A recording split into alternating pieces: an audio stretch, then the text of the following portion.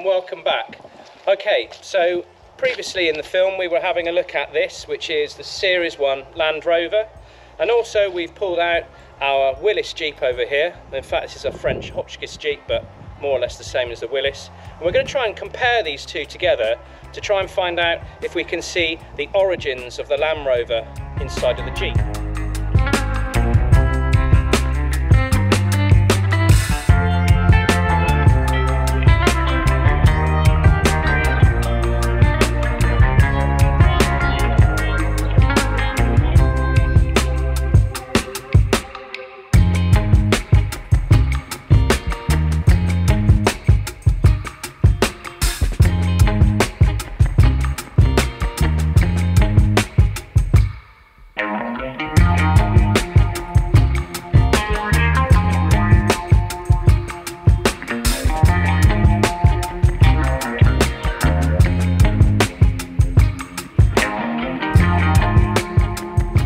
Update, where were we last time? We changed the fuel on this, but again, it's been sucking up uh, sediment out of the fuel tank, and so therefore we've had to clean that through again.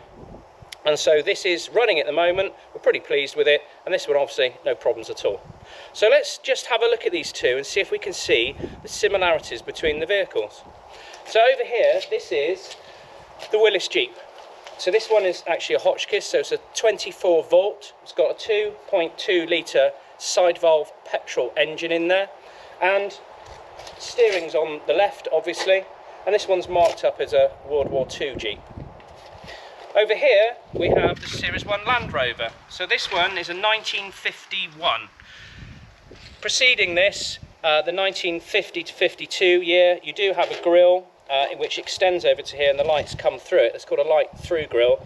This one is the first year in which they started using this familiar T-shape. What we've got inside of here is a two and a quarter litre petrol engine. So this is actually out of the later series, the Series 2 Land Rover. So this is quite a common uh, upgrade that happened when these were still actually in use rather than a collector's vehicle. So yes, it's the later petrol engine in there. You've also got a slightly later steering box as well, and that's out of a Series 2 Land Rover, but that makes this vehicle very, very usable on the road. The main difference, as you can see, between the Land Rover and the Jeep behind me is this is actually made out of aluminium. So steel was in short supply at the end of the war in the UK, so these vehicles were actually made out of uh, aluminium. Apart from the bulkhead, some did have aluminium bulkheads, but this one's got a steel one, so that's in good shape. It runs on a chassis underneath, so this body bolts onto the chassis, very, very similar to the Willys Jeep, and it's in and high and low ratio. So, which came first, the chicken or the egg? As you can probably work out, being designed in the 40s, the American Jeep came first.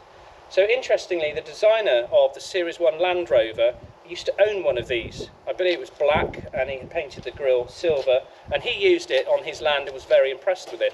So when he was given the opportunity to design the 4x4 at the end of the Second World War, obviously there were elements of this that were copied and placed into the Series 1.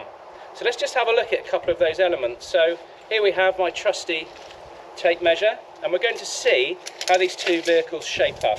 So we're going to measure here, this is very, very roughly the distance across on the chassis. Now you must remember that these uh, wings hang over slightly over the wheels, but we're looking there, we're at about 58 inches. So if we go over to the Willys Jeep, we're going to measure between the wheels on here, and there we go, we're roughly the same. What we will now look at is the length. So this is the distance between the middle of the, of the axles. So we're going to measure off the front here. I'm going to take this all the way to the back. And there we go, 80 inches. We're going to take it over onto this side. I don't know if you can get in here with a camera. We'll put it on, on this Jeep as well.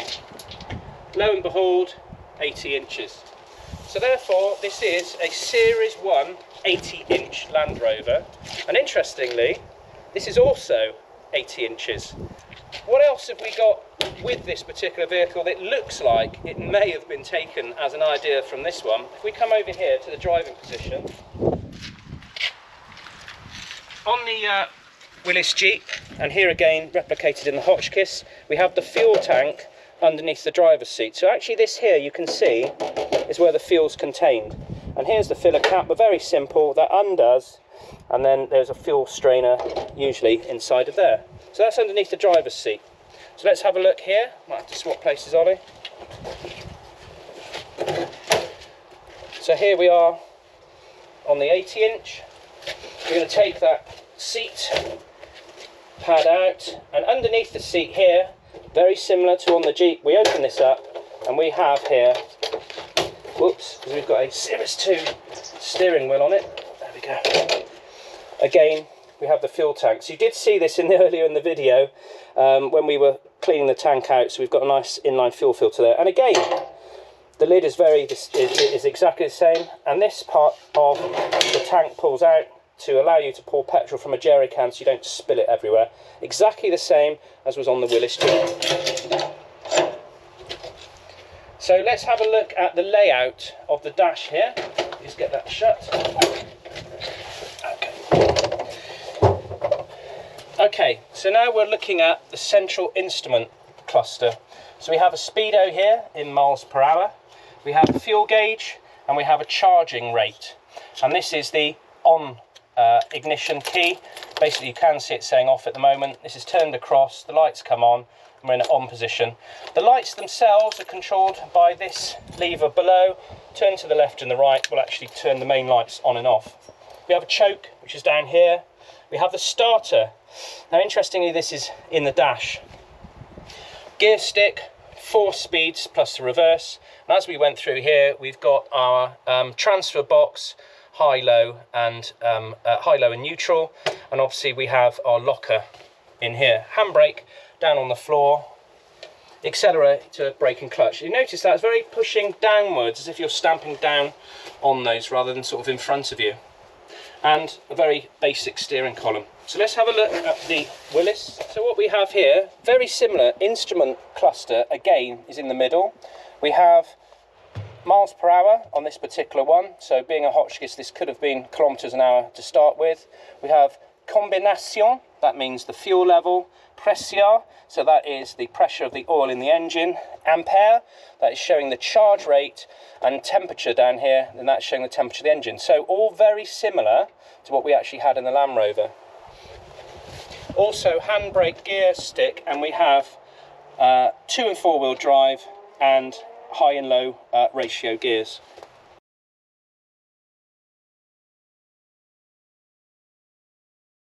Okay, the starting sequence on the Series 1, we're going to make sure that the gear stick is in neutral. Now it's quite a sloppy box, so even when it's in gear, we've got a slight movement. So we really do want to play around with that gear stick to make, make sure we're absolutely not in gear. We insert the key and we turn it to the right. You will see that these have all jumped because they're uh, electric or they're excited by the electricity that we've now put through it. And then down here is the starter button and we press that in and it should start. So Ollie is going to also press down on the accelerator to give us a little bit of gas while I press this button. Next one across, Ollie. That's it. That's it. Okay, so there you go.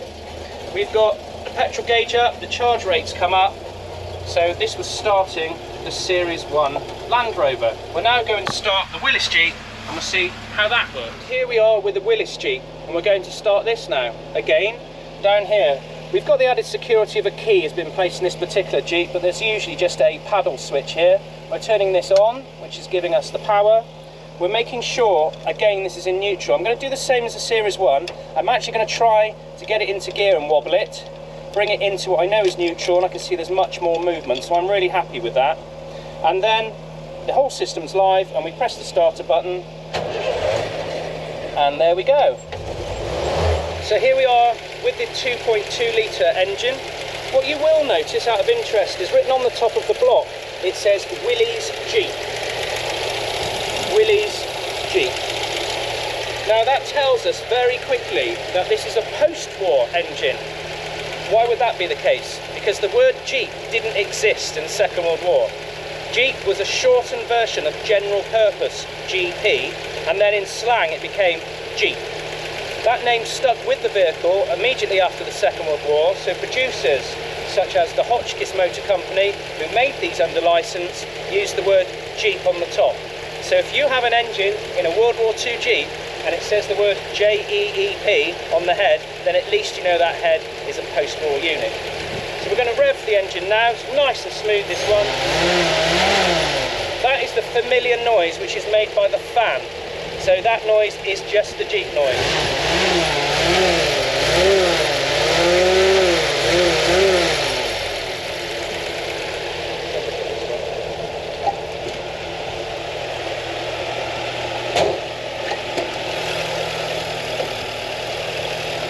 Now we have the Series 1 engine.